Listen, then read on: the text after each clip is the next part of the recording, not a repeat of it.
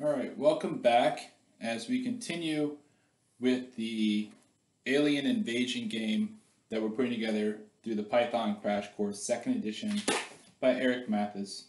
Last time we left off, we had created a single alien. Now, we're going to need to create multiple aliens that fill the screen. And so we're going to have to do a little bit of calculation here to, to be able to get these aliens to fill up the screen. And we also have to take into account that you could change the size of the screen through various methods um, if you wanted to. And so our code should work if the size of the screen were to change as well. So we're going to code this using some variables and taking measurements from the actual objects themselves. And so if those objects change size, then our code will still work as well. So last time we were working on, let's see, where are we here? We're in the alien invasion and we're trying to find our create fleet. So the create fleet currently creates a single alien, but we want to create a fleet of aliens. So uh, we're going to do a little bit of changes here. So let's just make a couple comments to understand what's doing here. We're going to create an alien and find the number of aliens that will fit in a row. And so to do that, we need to set the spacing between each alien as equal.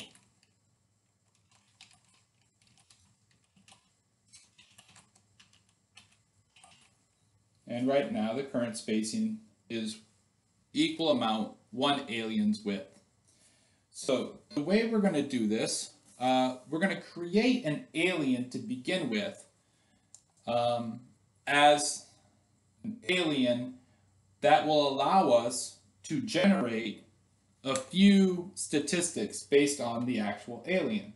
So now that we have an alien, we can find this alien's width. So alien width is going to equal the alien dot rectangle dot width. So now, when we create the alien, the rectangle that the alien is inside of will have a width, and we're going to tie that to our alien width. And then we're going, once we get that, we're going to calculate the available space, available space x. So available space x, so we're talking about the x space that's available, will equal the self dot settings dot screen width minus 2 times our alien width. Okay, so why 2 times the alien width? Well, because we want to be able to have some cushion on either side of the aliens to be able to allow the aliens to move over to the right. So we'll create a little bit of cushion. That's two alien widths. So that's going to provide us with some margin, if you will, on either side of our row, allowing our row to have space to move into so that in the beginning it's moving and then it'll come down. So now that we've calculated our available space by finding the screen's width and subtracting two alien widths from it, we're now going to calculate the number of aliens that we can have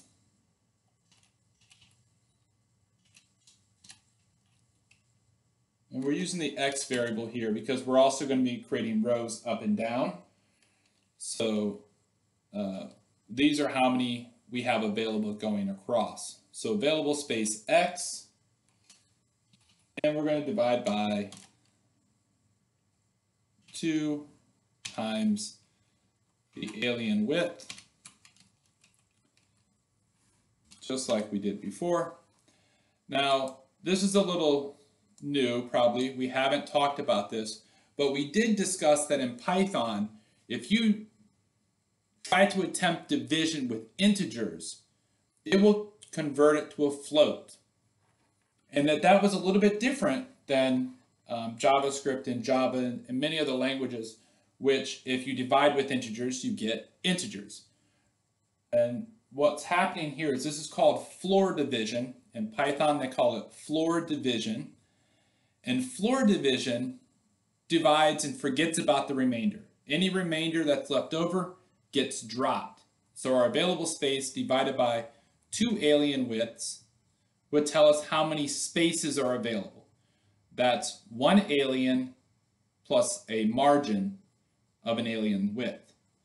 So for each spacing, we need to have two alien widths, right? For an alien and the space between the next alien.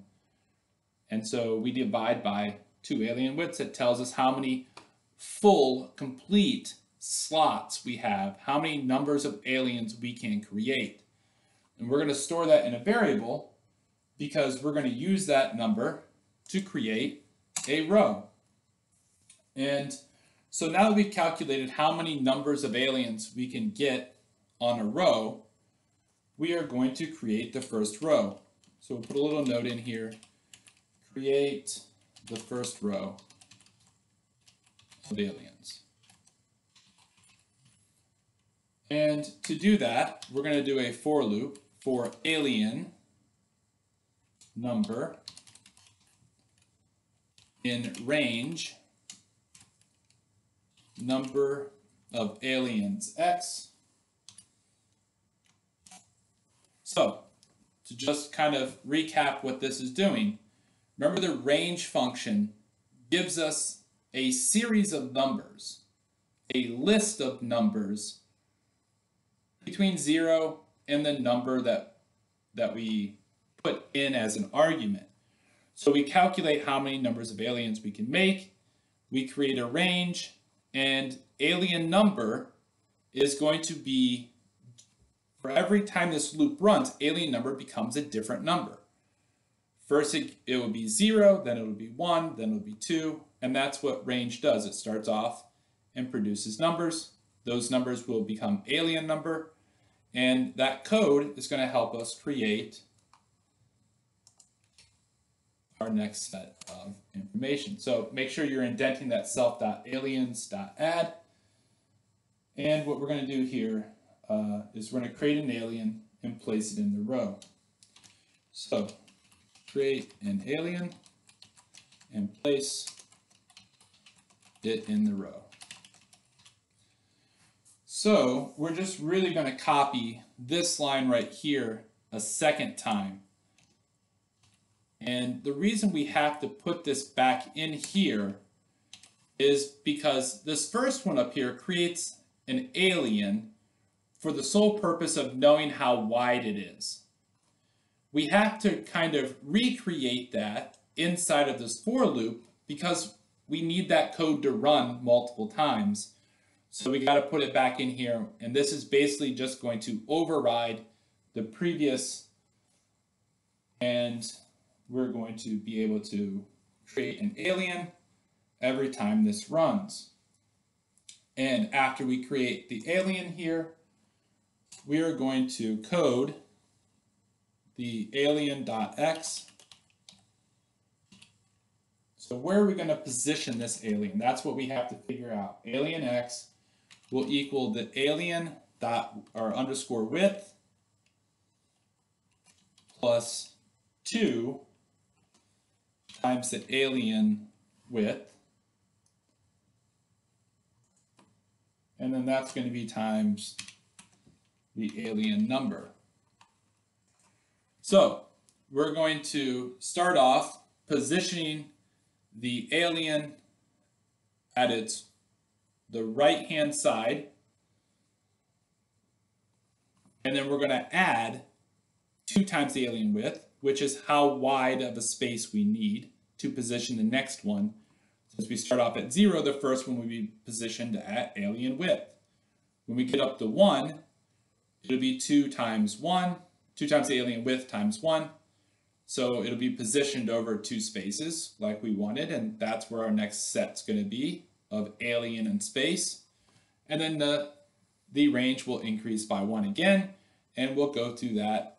And this for loop will run as many times as this range tells it to do, creating aliens, determining their x value based on this calculation, and this alien number will change as the for loop runs, which means each time it runs and positions the alien, it's going to be a little farther over to the, to the right. Well, again, once we've determined its x value, we now need to determine its rectangle dot x value. And that's going to be set to its alien dot x. So now that we have that all set, then we have our self aliens dot add the alien. So first we create the alien, we determine where its x position should be based on the number of aliens that are available and how it should be positioned to move each one across. We assign that value to the rectangle, and then we assign that alien into our group of aliens. And that should produce a row of aliens. So let's check this out. Let's save it, and let's run. And here we have a group of aliens positioned on our screen, nicely laid out, ready to be fired at. And we can see here that even though I fire, it's going right through the alien. So we're going to have to fix that. And our aliens are just kind of sitting there, not doing much. So we're going to have to make them move. And that's what we're going to do here is, but before we do that, we need to do a little bit of refactoring. Because we are going to be adding multiple rows, we're going to kind of clean this up just a little bit. We have this create fleet, which seems to be getting kind of long. Uh, and so we're just going to clean this up just a little bit. And we're going to do that by creating a new method, a new helper method. And we're going to define this. I'm just putting it right below the create fleet. We're going to define this as uh, create alien. And so this helper method will help us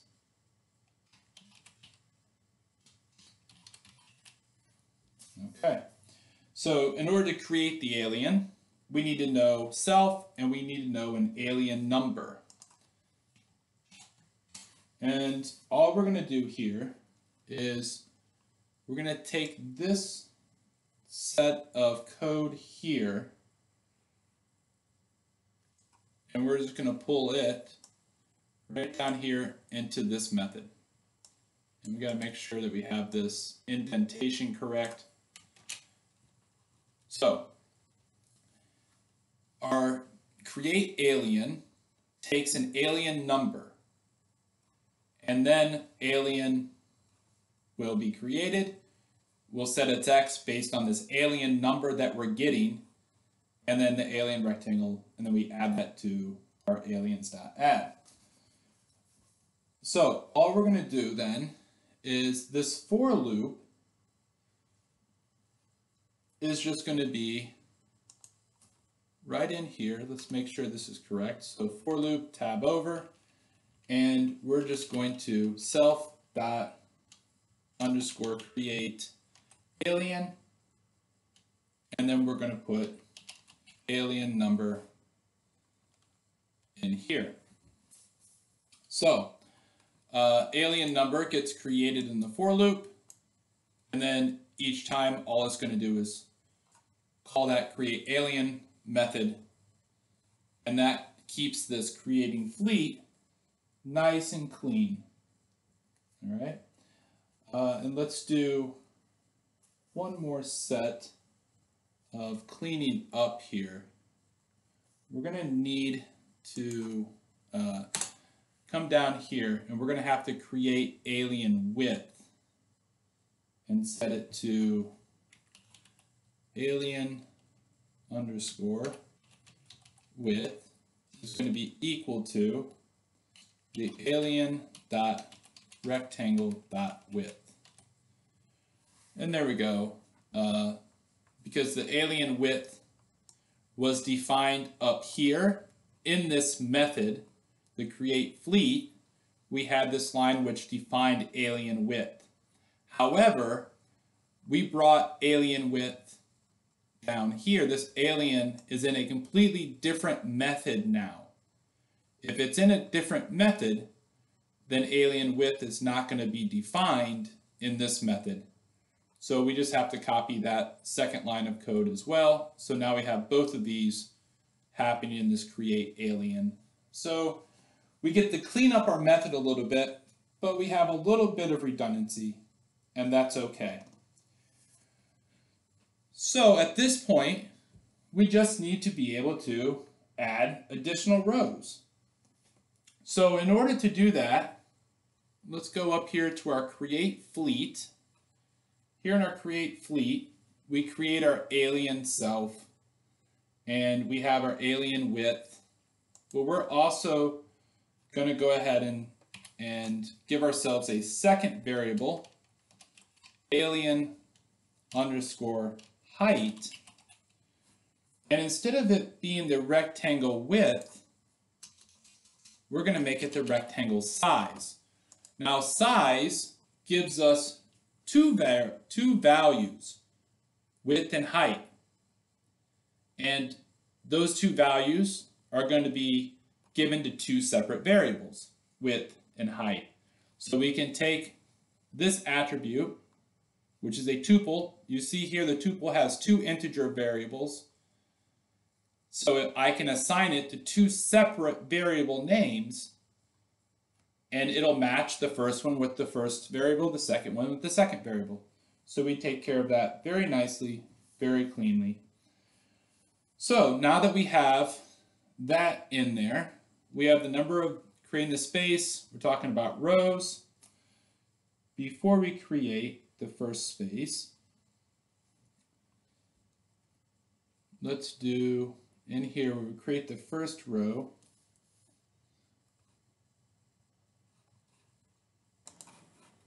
We're just going to come right in here.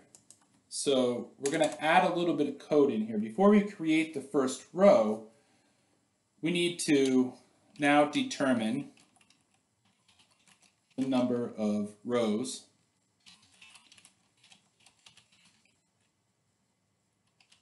that fit. Right, so we know how many aliens fit in a row, but how many rows will fit on the screen? And so we have to first find the ship height, because that's going to be help determine how many uh, aliens will fit in there. So we set that equal to the self dot ship dot rectangle dot height and then we figure out the available space, but not x, available space y. And we're going to set that equal to a little bit of work here. Self dot settings dot screen height. And then we're going to subtract. And there's a little bit going on here. So we're just going to come down and tab this over. Actually, let's try to keep them online. So minus parentheses, and we'll do 3 times alien height.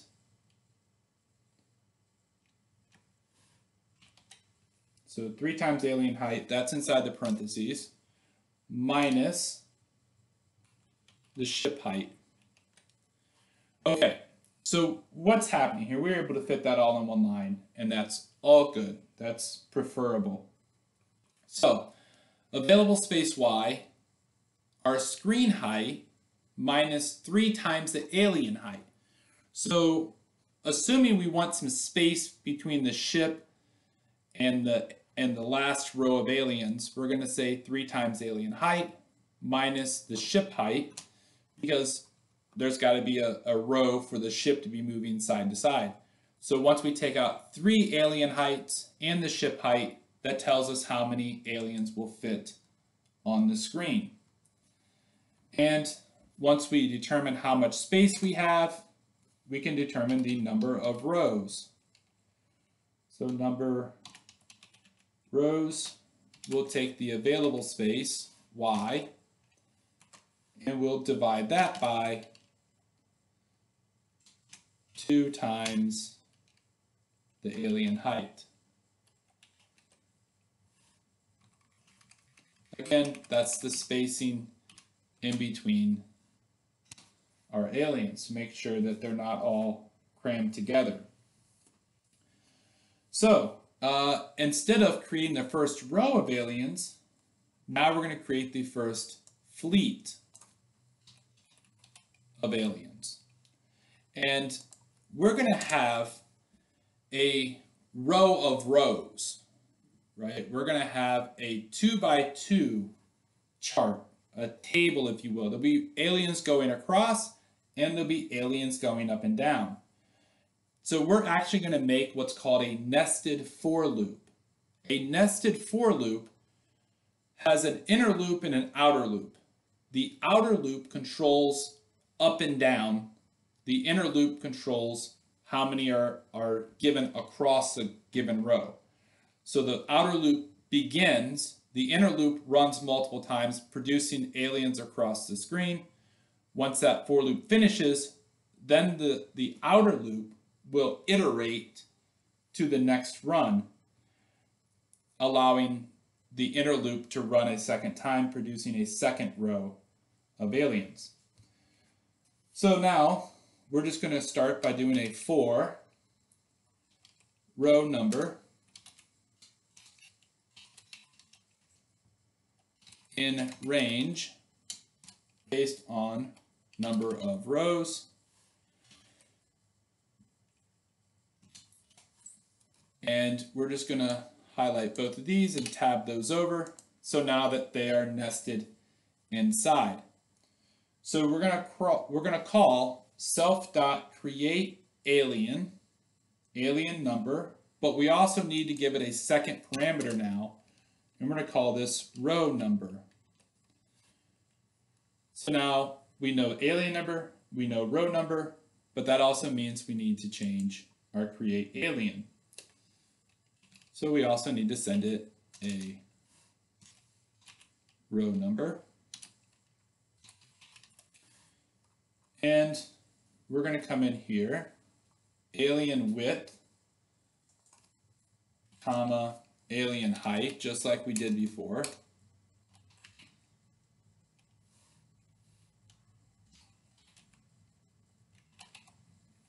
So alien width and alien height will become alien size. And then after we get alien rectangle x, be alien x, we also have to do the alien dot rectangle dot y to equal alien dot rectangle dot height plus 2 times the alien because we have to account for which row it's in. So it's rectangle dot height. And then that's going to be multiplied again by our row number. And once it does that calculation, it's going to know where to position the y. So I know that's a lot in there. So take your time, make sure uh, that you have this for loop set up correctly, and that's inside of the create fleet. All right, so we did a little bit of changing here. We did a little bit of changing here. A little bit of change. We actually added all of this. And then we did a little bit of changing here. and a little bit of changing here. So, a lot going on in there in these two. But we'll control save and we'll run this. And you can see uh, we have an error here with our alien number. And so we need to figure out what we did there. Oh yes, I see. Uh, I when I did my row, I accidentally cut off my R here. So um, that's what happened there. It should be alien number here. And since I, I got rid of that declaration, it didn't know what this alien number was. Okay, but we're all good now. Let's try running it one more time. And there we go. There's our game screen filled up with aliens, ready to be shot at. And uh, we are just about ready to make them move. So we'll catch that up in the next video. See you then.